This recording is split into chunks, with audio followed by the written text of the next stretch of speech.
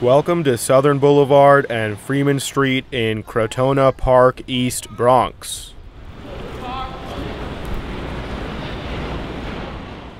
Home to the Freeman Street subway station. Here, you'll find La Esquina Restaurant, La Nueva Lechonera Corporation, Latin Food, Al Baraka Candy Convenience Store, L&P, Fragancia Laundromat, Unique Dental, Payomatic, 24-hour financial services, and MB Freeman Multi-Services Center.